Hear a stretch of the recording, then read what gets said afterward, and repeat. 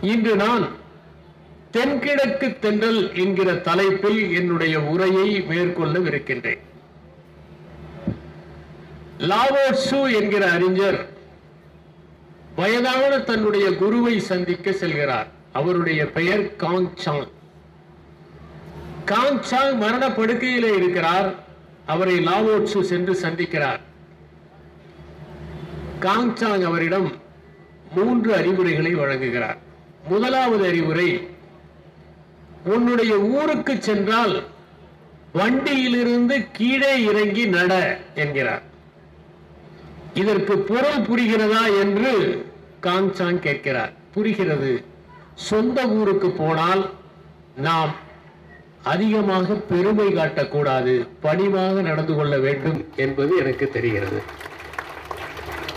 இரண்டாவது அறிவுரை உன்னை விட உயரமான மரத்தை பார்க்கிற போது வணங்கு என்கிறார். இதற்கு பொருள் புரிகிறதா? புரிகிறது.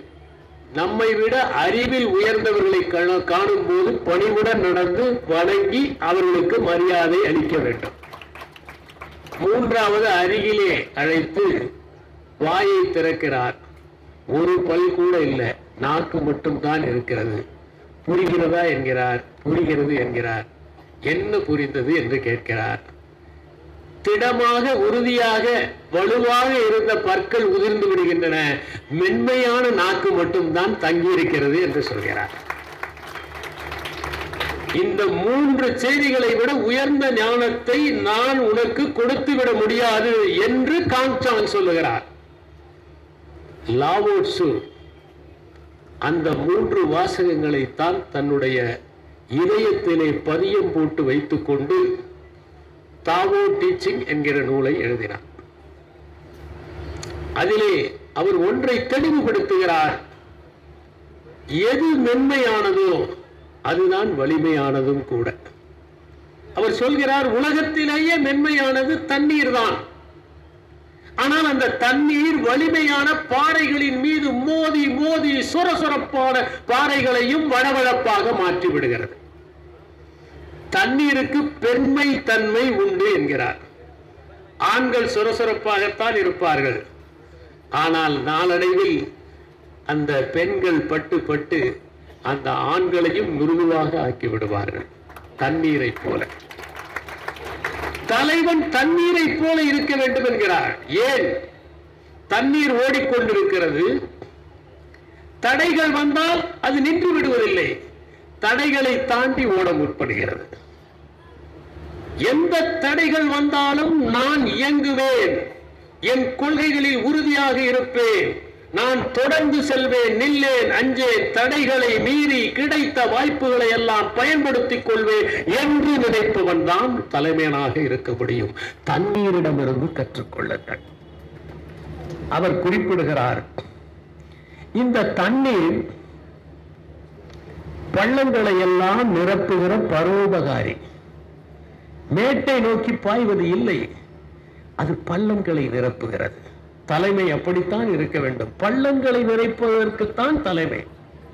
மேடுகளையே செழிப்பாக்குவதற்காக அல்ல பள்ளங்களை ஏமாற்றிவிட்டு.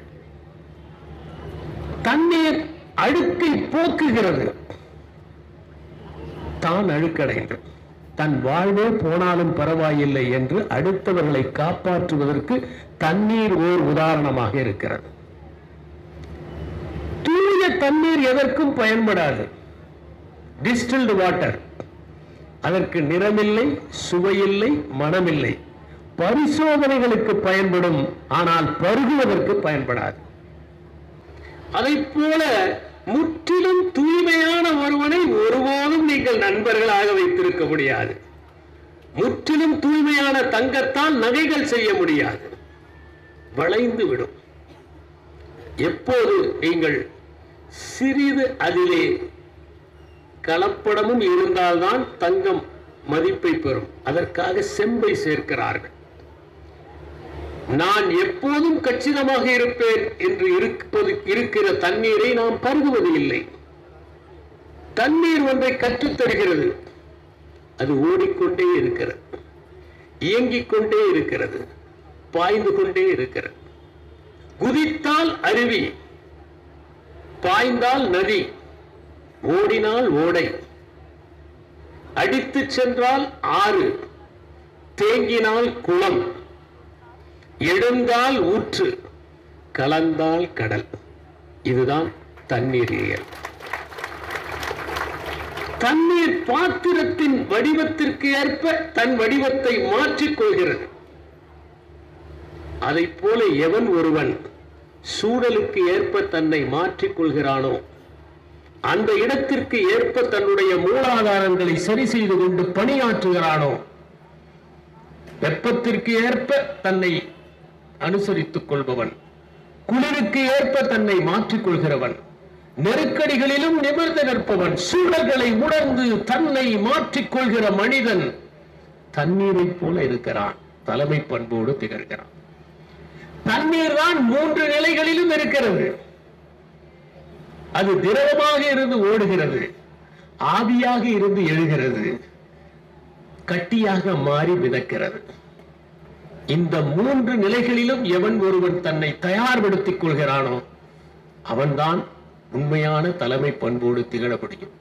ஓட வேண்டிய நேரத்தில் ஓட வேண்டும் இருக வேண்டிய நேரத்தில் இருக வேண்டும் கரைந்து மேலே எழ வேண்டிய நேரத்தில் எழ வேண்டும். இதுதான் தண்ணீரின் பண்பு. இப்படி தண்ணீரை பற்றி லாவோட்சு தன்னுடைய தாவோ டீச்சிங்கில் குறிப்பிடுவதற்கு முக்கியமான காரணம் காஞ்சவன் தன்னுடைய வாயை காண்பித்து எப்போது மென்மையானது நீடித்து நிற்கிறது வலுவானது விழுந்து விடுகிறது என்பதை போதித்தார் அல்லவா? அப்போதுதான். இந்த லாவோட்சு யார்? இவர் சீனத்திலே பிறந்தவர். அவர் பிறப்பை பற்றி ஒரு கதை உண்டு. அவருடைய தாயார் எரி நட்சத்திரம் ஒன்று கீழே விடுகிற போது பார்த்தார் கர்ப்பமடைந்தார். பிளம்பரத்தில் சாய்ந்து கொண்டிருந்த போது லாவோட்சு பிறந்தார். எல்லா மகான்களுடைய பிறப்பை பற்றியும் நமக்கு ஒரு கற்பனை கதை உண்டு. புத்தர் கூட அவருடைய தாயார் நின்று கொண்டே இருந்தபோது பிறந்ததாக ஒரு கதை உண்டு. அந்த பிளம்பரத்தில் சாய்ந்து கொண்டிருந்த போது அந்த குழந்தை பிறக்கிறது. அறுபத்தி இரண்டு ஆண்டுகள் கர்ப்பமாக இருந்து பிறந்த குழந்தை அது. ஒன்பது மாதத்தில் அல்ல அறுபத்தி இரண்டு ஆண்டுகள். பிறக்கும் போதே வயதான குழந்தை காதுகள் நீண்டு இருந்தது. பிளம் மரத்தில் அருகில் பிறந்ததால் லீ என்றும் காதுகள் நீண்டு இருந்ததால் எர் என்றும் லீயர் என்பதுதான் லாவோட்சுவனுடைய அசல் பெயர் பெற்றோர் வைத்த பெயர். காதுகள் நீளமாக இருந்தால் ஞானம் அதிகம் என்கிற பொருள் ஒன்று உண்டு.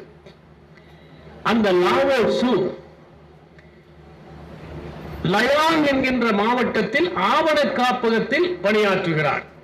அங்கிருக்கிற அத்தனை அரசு ஆவணங்களையும் படித்து கற்று தேர்கிறார். அவருக்கு திடீரென உலக நடப்புகளை எல்லாம் பார்த்து வெறுப்பு வந்து விடுகிறது. இங்கே வாழக்கூடாது சென்று விடலாம் என்று அரண்மனையின் மேற்கு வழியாக தப்பிக்க முயற்சி செய்கிறார். அங்கே இருந்த பாதுகாவலர் தடுத்து நிறுத்தி விடுகிறார். நூற்றி அறுபது ஆண்டுகள் அவருக்கு அப்போது. நீங்கள் பெற்றவற்றை கற்றவற்றை உணர்ந்தவற்றை எழுதிவிட்டு செல்லுங்கள். இந்த சமுதாயத்திற்கு பயன்படட்டும் என்று சொல்லுகிறார். அவர் எழுதுகிறார் அதுதான் தாவோ டீச்சிங் அதை எழுதி முடித்துவிட்டு அவர் வெளியே செல்லுகிற போது அந்த காவலரும் அவரோடு சென்று விட்டார் என்றும் அவர் இந்தியாவிற்கு வந்தார் என்றும் புத்தருக்கு வழிகாட்டினார் என்றும் அவர்தான் புத்தர் என்றும் பல்வேறு கர்ணவழி கதைகள் சீனத்திலே உண்டு. இது லாவோட்சுடைய வரலாறு. இந்த லாவோட்சுடைய சமகாலத்திலே இருந்தவர் கன்ஃபியூஷியஸ். எப்படி புத்தரும் மகாவீரரும் ஒரே காலத்தில் இருந்தார்களோ கபீரும் ஃபரீதும் ஒரே காலத்தில் இருந்தார்களோ புகழேந்தியும் ஒட்டக்கூத்தரும் ஒரே காலத்தில் இருந்தார்களோ பாரதியும் பாரதிதாசனும் ஒரே காலத்தில் இருந்தார்களோ அப்படி இருந்தவர்கள். அந்த கன்ஃபியூசியஸ் உடைய பிறப்பை பற்றியும் ஒரு கதை உண்டு. அவருடைய தந்தை இராணுவத்திலே இருந்தவர். எழுபது வயதில் ஒரு பெண்ணை திருமணம் செய்து கொள்கிறார்.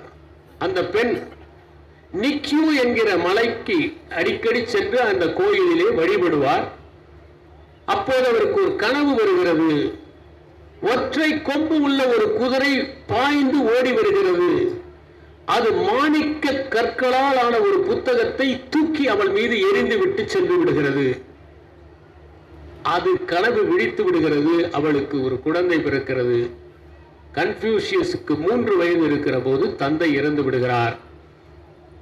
கன்ஃபியூஷியஸ் வறுமையிலே வாழ்கிறார். ஆனால் படித்து முன்னேறுகிறார். அவர் சொல்லுகிறார் காலையிலே ஒன்றை நீ கற்றுக்கொண்டால் மாலையிலே நிம்மதியாக சாகலாம் என்கிறார். நீ பெரிய பதவியில் இருப்பதை விட பெற்றோரை மதிப்பதுதான் உயர்ந்தது என்று சொல்லுகிறார். அவர் என்ன சொன்னாரோ அவற்றை எல்லாம் சுருக்கமாக அனலெக்ஸ் என்று எழுதி தொகுத்து வெளியிட்டிருக்கிறார். கன்ஃபியூஷியஸ் ஒரு நாட்டிற்கு செல்லுகிறார். அங்கே ஒரு வயதான பெண்மணி வந்து அழுகிறார். ஏன் அழுகிறாய்? என்று கேட்கிறார். என்னுடைய கணவரை புலி அடித்து கொன்று விட்டது. எப்போது நடந்தது? ஆறு வருடங்களுக்கு முன்னால். மறுபடியும் அழுகிறாள். ஏன் அழுகிறாய்? என்னுடைய தந்தையை புலி அடித்து கொன்று விட்டது எப்போது? இருபது ஆண்டுகளுக்கு முன்னால். மறுபடியும் அழுகிறாள். ஏன் அழுகிறாய்?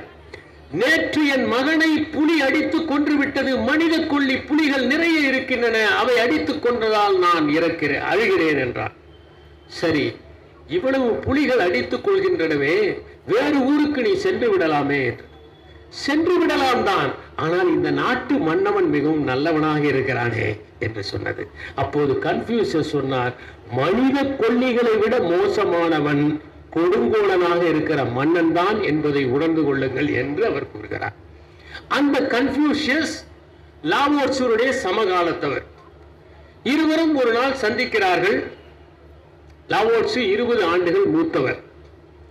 அப்போது லாவோட்ஸு கன்ஃபியூசியஸிடம் சொல்லுகிறார் நீ உன்னுடைய ஆணவத்தையும் அகந்தையையும் விட்டுவிடு. உன்னுடைய வேட்கையை கீழே தூக்கி போட்டுவிடு. ஏனென்றால் கன்ஃபியூசியஸ் வேட்கை உள்ளவர். அவர் ஒரு மாகாணத்தினுடைய முதலமைச்சராக இருந்தவர். பதவியின் மீது சற்று ஆசை உள்ளவர். அப்போது அவர் சொல்லுகிறார் உன்னுடைய வேட்கையை விட்டுவிடு. நீ தயவு செய்து அடுத்தவர்களை விமர்சிப்பதை நிறுத்திக்கொள். அப்போது நீ விபத்தில் சிக்கிக் கொள்வதிலிருந்து விடுபடுவாய். அடுத்தவர்களுடைய தீமைகளை வெளிப்படுத்துவதற்கு நினைக்காதே. நீ ஆபத்தில் மாட்டிக்கொள்வாய். பிறகு பாதுகாப்பான இடத்தை நோக்கி நீ செல்ல வேண்டும் என்று சொல்லுகிறார். அதை கன்ஃபியூஷியஸ் கேட்கிறார். பிறகு தன் சீடர்களிடம் சொல்லுகிறார் நான் கொடிய மிருகங்களை எல்லாம் பார்த்திருக்கிறேன். ஆனால் எதற்கும் பிடிபடாத டிராகனை போல இருக்கிறார் இந்த லாவோட்சு என்று குறிப்பிடுகிறார். இதுதான் இவருவருக்குள்ளும் நடந்தது. கன்ஃபியூஷியஸே ஏற்றுக்கொள்ளுகிற மகா ஞானியாக இருந்தவர் லாவோட்சு. இது இருவருக்குமான ஓர் அறிமுகம். லாவோட்சுவிடம் அந்த பாதுகாவலன் ஒரு புத்தகத்தை எழுத வேண்டும் என்று வற்புறுத்துகிறான். பொதுவாக உண்மையை எழுத முடியாது. அதனால்தான் புத்தர் எந்த புத்தகமும் எழுதவில்லை. அவர் மெய்ஞானம் அடைந்தார் அவர் பரி நிர்வாணத்தை அடைந்த பிறகு மகா பரி நிர்வாணத்தை அடைந்த பிறகு அவர் என்ன சொன்னார் என்று சீடர்கள் எல்லாம் அமர்கிறார்கள். அவற்றை எழுத வேண்டும் என்று நினைக்கிறார்கள். அவர்கள் அந்த நினைவிலிருந்து எழுதியவைதான் தம்ம பதம் என்கிற அந்த நூல். புத்தர் எழுதவில்லை. அதைப் போல இயேசு கிறிஸ்து எழுதவில்லை. மார்க் லூக் மேத்யூ ஜான் என்கிற நால்வர் தனித்தனியாக எழுதியவைதான் புதிய ஏற்பாடு. பால் ஷேம் டெவ் என்கிறவர் தன்னுடைய சீடர்கள் குறிப்பெடுக்கிற போது சொல்லுவார் நீங்கள் நான் சொல்ல சொல்ல குறிப்பெடுக்கிறீர்கள் ஆனால் உங்கள் குறிப்புக்கும் நான் சொல்வதற்கும் எந்த சம்பந்தமும் இல்லை என்று. இங்கே கூட நான் பேசுவதற்கும் பதிவாவதற்கும் எந்த சம்பந்தமும் இல்லை. இந்த இடத்திற்காக அது பேசுவது. இந்த நேரத்திற்காக அது பேசுவது. அதை போல சில சூழல்களில் சிலவற்றை நாம் பேசுகிறோம். அந்த சீடர்களிடம் நீங்கள் குறிப்பெடுக்காதீர்கள் என்று சொன்னார். ஏன்? அதில் ஒரு முக்கியத்துவம் இருக்கிறது. டாவோ டீச்சிங்கில் முதல் வரியே லாவோட்ஸ் எழுதுகிறார் சொல்லக்கூடியதல்ல வழி. சொல்வதால் புரிந்து விடுவதல்ல வழி. இதை சொல்ல முடியாது என்று கூறுகிறார். தாவோ என்றால் வழி. ஏன் உண்மையை சொல்ல முடியாது? காரணம் இருக்கிறது. நீங்கள் உண்மையை உணர்கிறீர்கள். நாம் உண்மையை உணர்ந்து விட்டோம் என்று நினைக்கிற போதே அது சற்று நீர்த்து போய்விடுகிறது. நான் பேசுவது உண்மை என்று ஒருவன் நினைத்தாலே அந்த உண்மை நீர்த்து போய்விடுகிறது. அப்போது நீங்கள் பொய்யையும் யோசித்திருக்கிறீர்கள் என்று பொருள். பேசிக்கொண்டே இருங்கள். அது உண்மை என்று உணர வேண்டிய அவசியம் என்ன இருக்கிறது? நீங்கள் உண்மையை பேசினால் ஏன் உண்மை என்று ஒத்திகை பார்க்க வேண்டும்? எனவே உண்மையை நாம் உணர்ந்தோம் என்கிற போதே அது சற்று நீர்த்து விடுகிறது. பிறகு என்ன உணர்ந்தோம் என்று சிந்திக்கிறோம் அல்லவா? அப்போது இன்னும் சிறிது நீர்த்து போய்விடுகிறது. அவ்வாறு நீங்கள் அதை அசை போட்டு சொற்களால் மாற்றுகிற போது இன்னும் நீர்த்து போய்விடுகிறது. ஒன்றை நாம் புரிந்து கொள்ள வேண்டும். நம்முடைய சிந்தனைகளை நாம் மொழியின் வாயிலாக பெயர்க்கிற போதே அது நீர்த்து விடுகிறது. ஓர் உதாரணத்தோடு சொல்கிறேன். நீங்கள் ஜிலேபியை சாப்பிடுகிறீர்கள். எப்படி இருந்தது என்று கேட்டால் இனிக்கிறது என்று சொல்கிறீர்கள். சர்க்கரையை சாப்பிடுகிறீர்கள். எப்படி இருந்தது என்றால் இனிக்கிறது என்கிறீர்கள். ஆனால் இரண்டு இனிப்புக்கும் வித்தியாசம் இருக்கிறது அல்லவா? ஆனால் நாம் இனிக்கிறது என்று மட்டும்தான் சொல்ல முடியும். ஏனென்றால் நாம் உணர்ந்ததை மொழிபெயர்க்க நம்மிடம் சொற்கள் இல்லை. நம் மொழி வறுமையானது என்பதை உணர வேண்டும். நம் மொழியை விட சிந்தனைகள் சிந்தனைகளை விட உணர்ச்சிகள் உணர்ச்சியை விட உணர்தல்கள் இவை வலிமையானவை என்பதை நாம் உணர்ந்தால் அந்த உண்மையை மூடியான ஆக்குகிற போதே அது நிறுத்தி விடுகிறது. அதற்கு பிறகு நீங்கள் இதை யாரிடமாவது சொல்ல வேண்டும் என்று சொல்கிற போது அந்த இரண்டாவது மனிதர் கேட்கிற போது அவருக்கு புரிந்த மாதிரி அவர் கேட்டுக்கொள்கிறார். இது நான்காவது படியாக நிறுத்து விடுகிறது. நாம் சொல்வதற்கும் அவர் கேட்பதற்கும் தொடர்பு இல்லாமல் போய்விடும். அவருடைய அனுபவத்தின் பிரதிபலனாக அனுபவத்தின் சாயலாக அவர் அதை புரிந்து கொள்ளுகிறார். நாம் சொன்னதற்கும் அதற்கும் தொடர்பு இல்லாமலேயே இருக்கலாம். பிறகு அவர் அசை போடுகிறார் பிறகு அவர் அதை உள்வாங்குகிறார். இந்த ஏழு படிகளில் உண்மையை அடுத்தவர்களுக்கு உணர்த்துகிற போது அது நீர்த்து போய்விடுகிறது. அதனால்தான் அதை யாரும் சொல்வதும் இல்லை எழுதுவதும் இல்லை அவரவர்களாக உணர்ந்து கொள்ள வேண்டும். அறிவியல் என்பது எழுதி வைத்தால் புரியக்கூடியது. ஏனென்றால் யார் அந்த பரிசோதனையை செய்தாலும் ஒரே முடிவுதான் வர வேண்டும். யூரே மில்லர் பரிசோதனையை நாம் இருவரும் செய்தாலும் அதே முடிவுதான் வரும். வர வேண்டும். வெவ்வேறு முடிவுகள் வந்தால் அது பரிசோதனை அல்ல உண்மை அல்ல அறிவியலில் ஆனால் இந்த உண்மையை மெய்ஞானத்தில் உணர்கிற போது ஒவ்வொருவரும் தானாகத்தான் உணர வேண்டும் யாரும் எழுதி வைக்க முடியாது. லாவோட்ஸ் குறிப்பிடுகிறார் அழகை அழகென்று நீங்கள் உணர்கிற போதே அவலட்சணம் ஆரம்பமாகி விடுகிறது என்கிறார். எப்போது நீங்கள் ஒன்றை அழகு என்று சொன்னால் ஏதோ ஒரு அவலட்சணமும் இருக்கிறது என்று பொருளாகிறது. கம்பர் சொன்னார் அல்லவா? வன்மை இல்லை ஓர் வறுமையின்மையால் என்று. ஓர் வறுமை என்று ஏன் சொல்ல வேண்டும்? வறுமைக்கு ஒருதான் வரும் ஓர் வராது. சற்று இலக்கணம் மாறி இருக்கிறது. ஏனென்றால் வறுமை எல்லா இலக்கணத்தையும் மீறிவிடுகிற ஒன்று என்பதால் அப்படி சொன்னார்.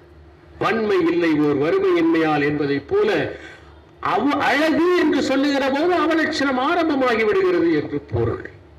புத்தர் சொன்னார் அழகான ஒன்றை பாருங்கள் அது அவலட்சணங்களின் தொகுப்பாக இருக்கும் என்று சொன்னார். அழகு நீடித்து நிற்பதல்ல என்று சொல்வதற்காக தன்னுடைய சீடர்களிடம் சொன்னார் நீங்கள் அழகில் மயங்கி விடாதீர்கள் மானுட உடலின் அழகில் மயங்கி விடாதீர்கள் அந்த அழகு என்பது அவலட்சணங்களின் தொகுப்பாகத்தான் இருக்கும் என்று சொன்னார். தனித்தனியாக பார்த்தால் அவலட்சணம் ஒன்றாக பார்த்தால் அது அழகாக கூட இருக்கலாம். எனவே அழகையும் அவலட்சணத்தையும் எப்படி பிரிக்க முடியும்? புழுவாக இருக்கிற வரை எவ்வளவு அருவருப்பாக ஒரு பட்டாம்பூச்சி இருக்கிறது? நாங்கள் வேளாண்மை கல்லூரியிலே பட்டாம்பூச்சிகளை வளர்க்க வேண்டும். அது ஒரு பாடம். புழுக்களை பிடித்து வருவோம். எருக்கஞ்செடியிலே இருக்கிற அந்த பட்டாம்பூச்சியின் புழுவை கொண்டு வருவோம். அந்த புழு தினமும் எருக்கம் இலையை போட்டுக்கொண்டே இருக்க வேண்டும். சாப்பிட்டு கழிவுகளை தள்ளி கொண்டிருக்கும். அடுத்த நாள் சுத்தப்படுத்த வேண்டும். இல்லையாவிட்டால் நோய் வந்துவிடும். அப்படி கொஞ்சம் கொஞ்சமாக அதை வளர்த்தெடுக்கிற போது திடீரென ஒரு நாள் அது கூட்டுப்புழுவாக ஆகிவிடும். பிறகு பதினைந்து நாட்களுக்கு பிறகு அந்த கூட்டுப்புழுவிலிருந்து சிறகடித்துக் கொண்டு அழகான ஒரு பட்டாம்பூச்சி வரும். இந்த அருவருப்பில் இருந்தா இந்த அழகு வந்தது.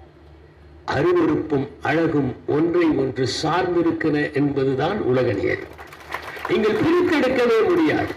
நமக்குள் அழகும் இருக்கிறது அருவறுப்பும் இருக்கிறது. அவலட்சணமும் இருக்கிறது என்பதை உணர்ந்து கொள்ள வேண்டும் என்பதற்காகத்தான் நீங்கள் அழகை அழகு என்று சொல்லுகிற போதே அவலட்சணம் தொடங்கி விடுகிறது என்றார்.